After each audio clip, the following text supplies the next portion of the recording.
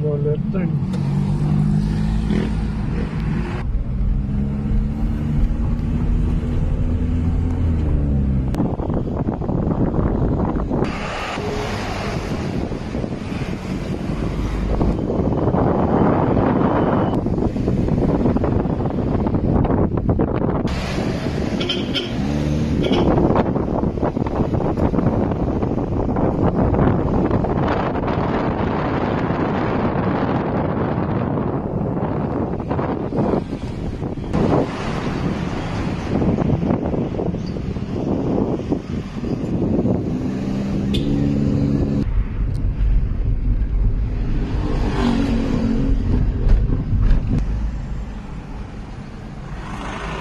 Kainan naman pala itong pupuntahan natin.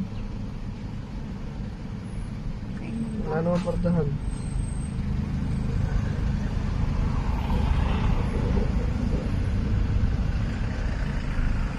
Parating ka na sa iyong destinasyon.